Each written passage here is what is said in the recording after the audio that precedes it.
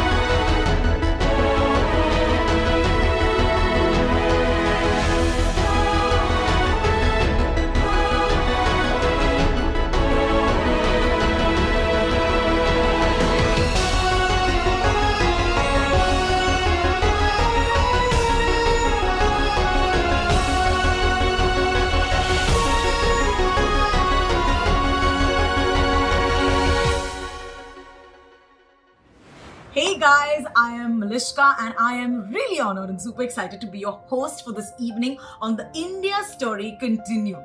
A place where you get your dose of arts, culture, fashion, music, and if you ask me, music has kept us alive during this period of COVID. Today I have a very interesting artist with me on the India Story Continues episode 5 of season 1. She's called Maalavika Urf Mali, that's her stage name, and she's an, a young, independent, beautiful artist. And I'm sure you've heard of her. If you haven't, today we're going to go through her whole story. Apart from a wonderful performance, she's sitting right next to a piano and a guitar. So, whenever you feel like it, we can ask her to sing one of our favorite songs. So, at one point, she was part of an independent band called Basin Bridge, or 2011 में she became an independent singer-songwriter.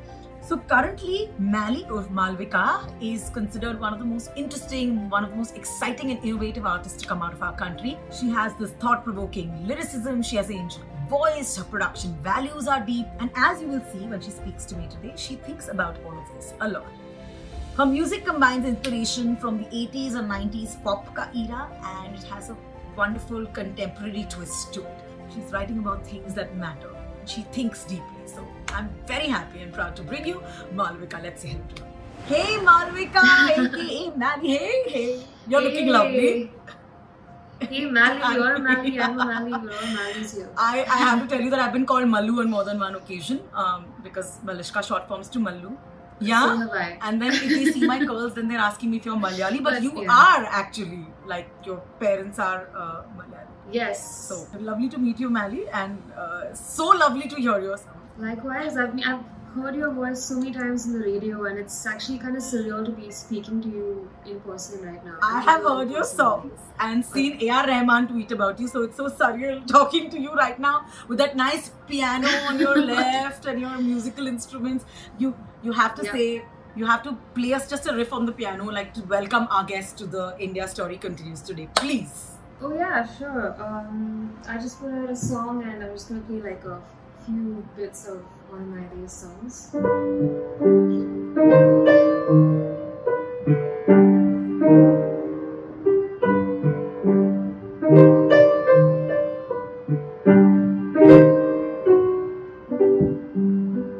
You're beautiful. You're beautiful. You. You're beautiful. Yes, yes, that was the perfect, perfect thank you. welcome. So first of all, welcome to the India Story Continues, Maalavika. I hope you're having a great time that you're here. So, Yeah. you know, um, your stories, your your uniqueness in your music, it touches very personal chords. I was reading up all about you, and your music is very inspired by perhaps overthinking, as you put it, uh, about life and about. Yeah. So tell me about your journey, your story. How do you find the will to do this? How do you do it? What's your process? Um, so for me, like like you already know, what a lot of my music comes from a very personal place, either from events that have happened in my life, or people that I've met, like you know my close family um, that I draw inspiration from. That's why each of my songs kind of bookend an important event in my life or a chapter in my life. So literally my entire life so far can be summed up in um, different chapters with songs that are written about them. You started a lot earlier, right? Your first performance was at the age of 12. Um, you started writing much earlier. So, Yeah. are you, do you um, do you think you're an old soul or what? ऐसा ही कुछ होगा मतलब old soul previous life कुछ तो होगा Sometimes, so I think I'm an old soul in a way that I'm really bad with things like technology and that sort of a thing. I mean, sometimes my grandparents ask me about some technology, and I'm like, oh wait, let me look up how to do that. So in some, in other ways, I think I'm an old soul. Uh, so I, I don't know. Like sometimes I feel 80, sometimes I feel 18.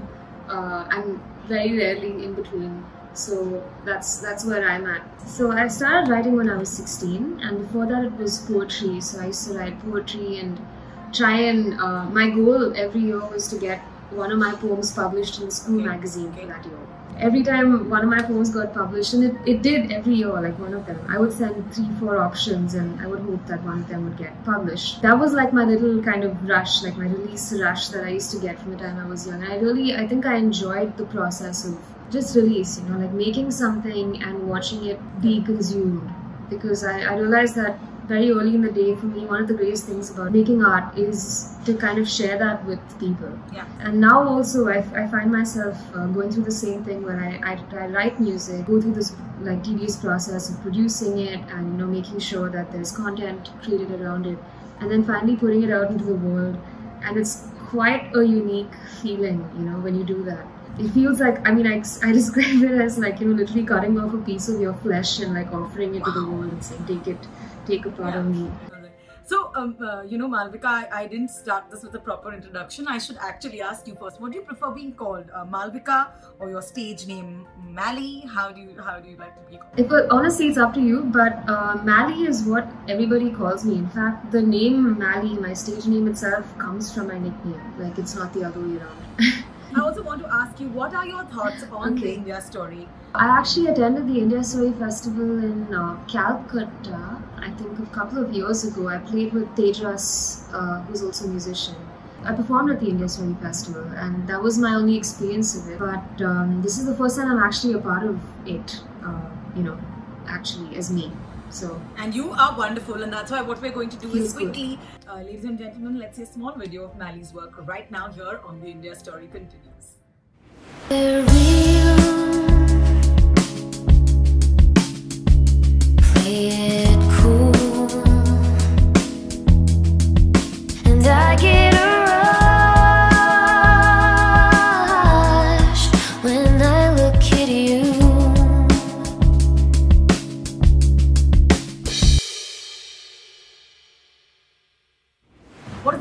Do to a musician like you? How were the four months of the lockdown?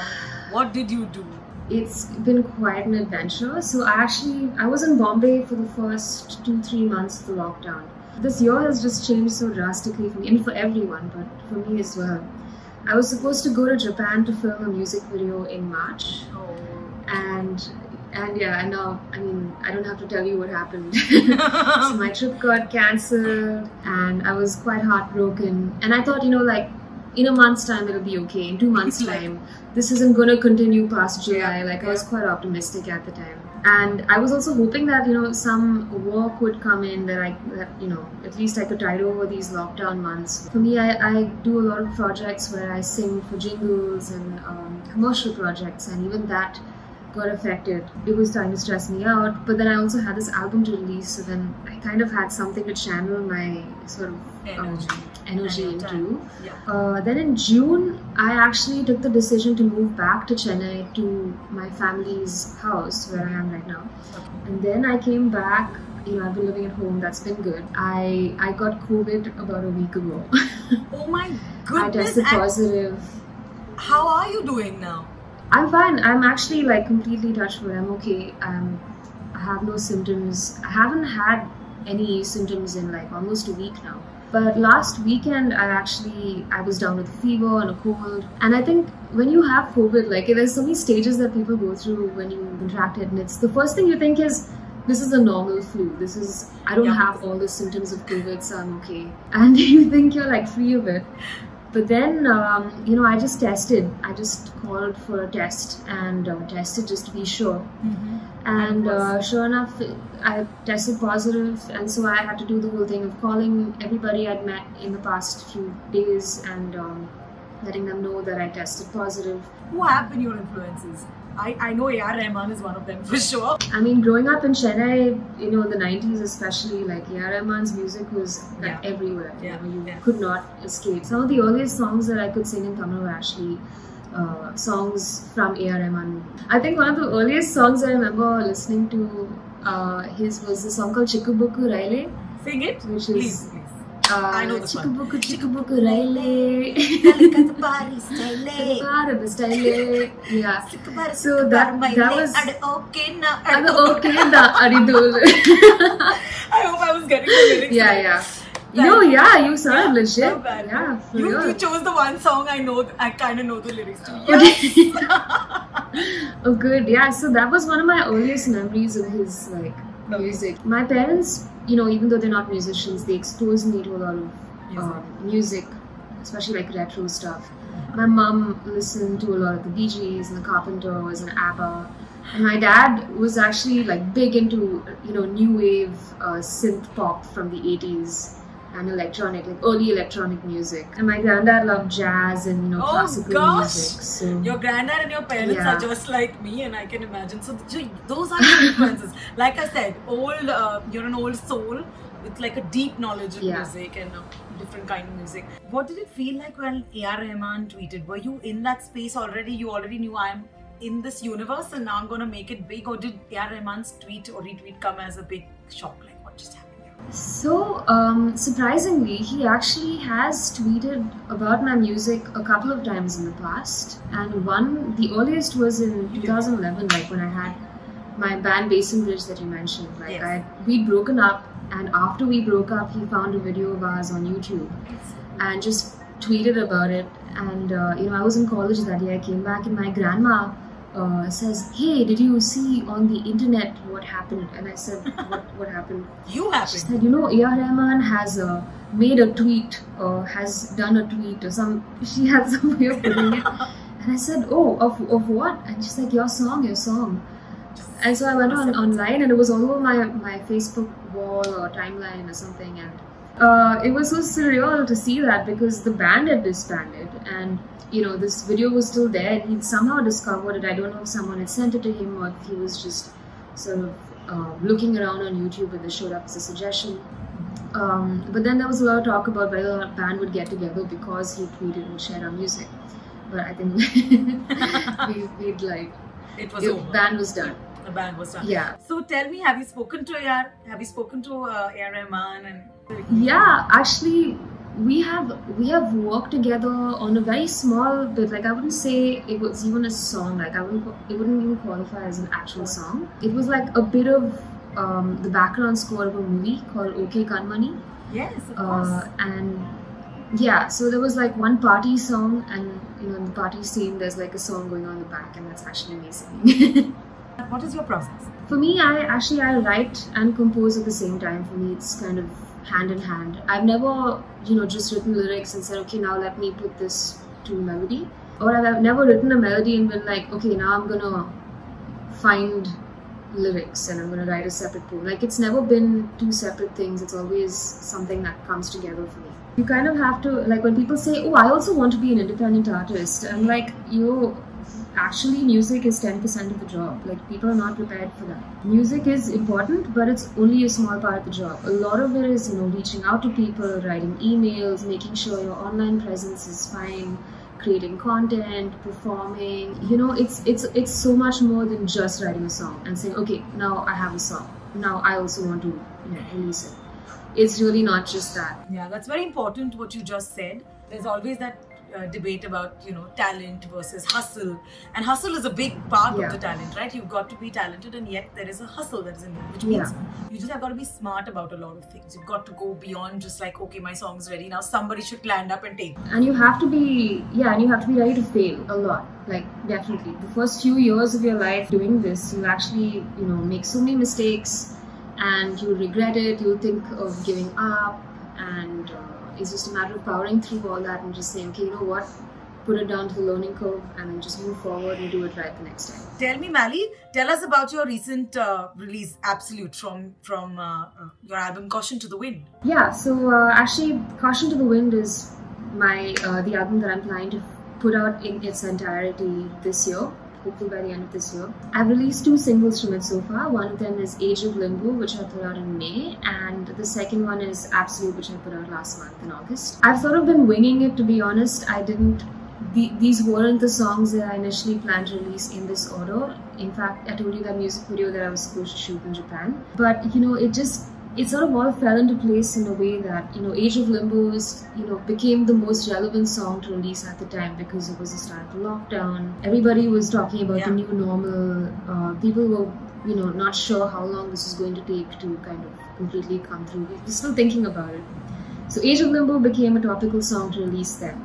Um, Absolute became a topical song to release last month because obviously, you know, since we've been sitting at home and uh, tuning into media, we've never been more aware in a way of what's going on around us. At the same time, we're so not aware of what's happening because all that we're hearing is what the media wants us to hear. There's so many stories that are not being told. There's so many people who are not being heard. There's so many people whose people whose voices are being kind of suppressed. But Absolute was something I wrote about three years ago, and it was at a time where I noticed that um, you know, people, there were a lot of people like farmers, people in the military, people um, doing, you know, service jobs who were being sort of sidelined in, in our country and their voices weren't being heard and their stories weren't being told. Uh, but at the same time, these are the people who are the go-to audience for when someone needs to come into power or get brownie points or votes. You know, they're kind of being used when they need to be used, but you know, being treated terribly when it when it actually comes down to it. Absolute was about that. It's about you know giving people giving people in power that sort of um, power, and then uh, having them misuse it in a way.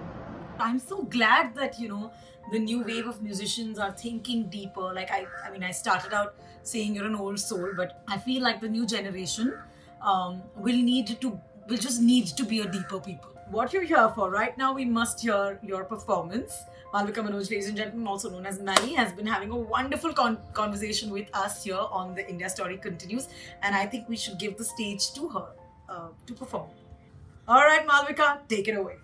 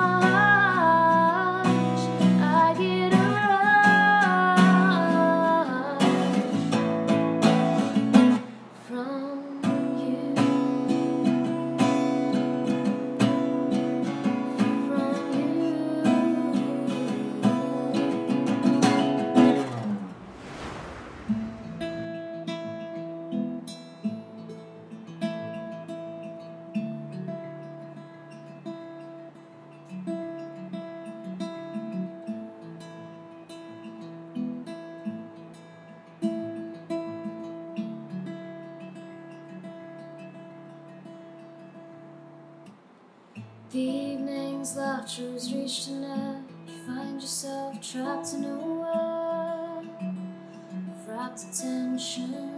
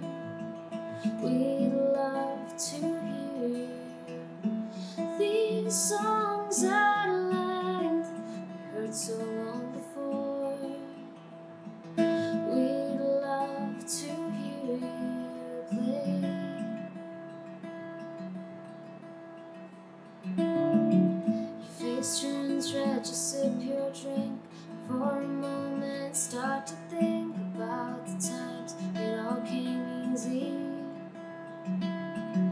The worn out stages you once played, the lifelong friends you thought you met.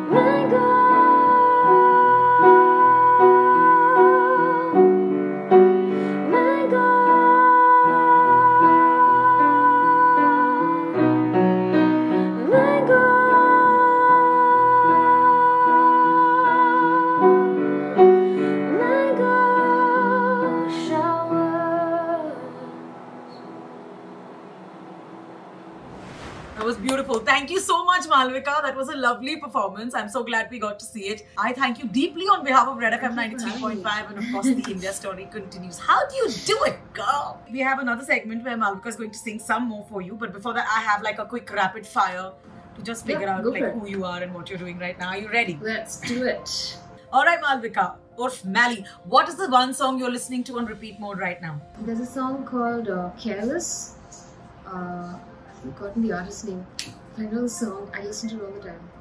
Uh, that one and uh, Bitter with the Sweet by um, Carole King. That's the one. That's the one. What's the most trouble you've ever gotten into? Uh, so when I was in college, I did an interview with um, a newspaper, and they asked me questions like, "Oh, so you're in college, but you're also a musician. So does that mean um, you do you bunk college like other college kids and that sort of thing?" And I said, "Oh yeah, I mean, of course, which college kid doesn't bunk college? But I managed to keep my attendance above board, so I'm okay." And the very next day in the newspaper, there was a whole full page article. The title of it was Band Baja and Bunking. Oh, and quickly somebody may comedy may put their own Yeah, agenda and so in there. I can walked see. into college and my HOD is sitting with the newspaper open and like you, th- this article was open in front of me. He's like, "What does this mean?" I'm like, "Oh, okay, um, yeah, that's I, I don't know how to explain it, but I will only say this: I never said that I uh, bunk college all the time, but I am good about keeping my attendance." What is the most useless talent you have? Do you have a useless talent? Oh yeah, um, I can guess any 80s song within like the first few seconds. Of the of the Yeah. music playing, is it? Bizarre talent, but I can. And I can also tell you the artist and the release year. All right. If there was one thing you could change about the industry, what would it be? Uh, getting paid on time. I think that's the thing that a lot of people also. I mean, it's just a general freelance problem, I think. But um, I notice this mainly in our industry, like in India. It's you know, payment is something that people just like let slide very often. It's just like a given that you have to wait for your payment. I mean, here I'm just so used to chasing payments and not getting it on time, and having to fight for it, and very often you'll even write it off if it takes too long. So I think that's definitely something I'd like to hmm. change. Absolutely. And what a what a good one to say. Your all-time favorite song forever, whether you were a child or whether you think you'll be an old woman and you'd love to listen to it. Which one would it be? Ooh, uh, there's a song called Gypsy by Fleetwood Mac, which is my travel travel song. Yep. And like I listen to it everywhere I Okay. go. That's amazing. You have to sing us a few lines, please, before we go into yours. okay. So I'm back to the velvet underground, to the floor that I love. To be wrong, but someday some paper flowers.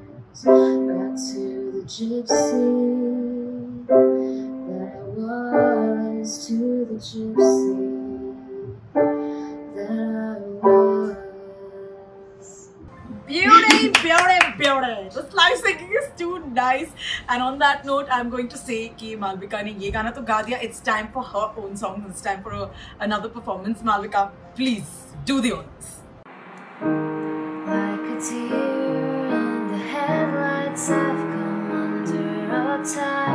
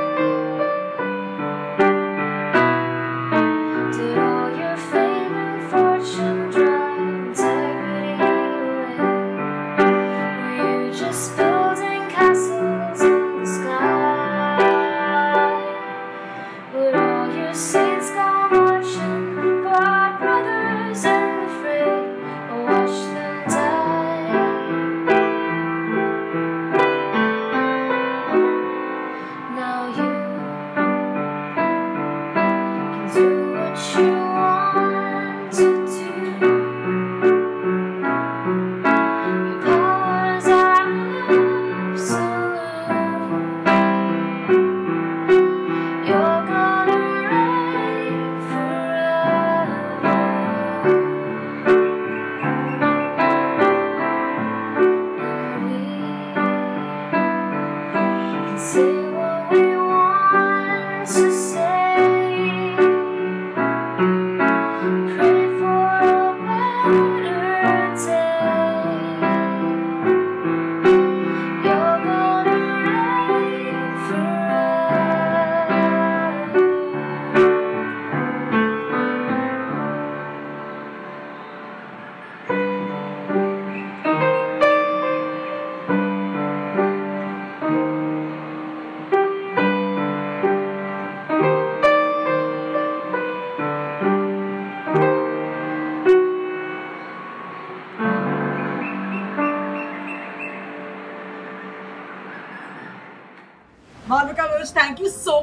being with us. I Thank you haven't yet graduated to calling you Mali completely. Okay. It has been a, a complete pleasure speaking to you. Likewise. 26 year old, going to be 27 in a few days. Don't forget to wish her on the 16th of this month. That's when her birthday is.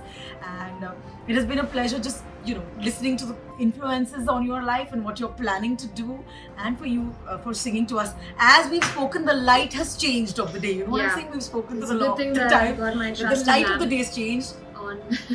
Yeah, it's true. And I have the sun and a beautiful, beautiful day in Mumbai. Thank you so much. Cheers, Maalavika. Nice talking to you. Cheers, cheers. Lovely talking to you too. I hope you had a grand time this evening with me. I've had a super time speaking to Maalavika.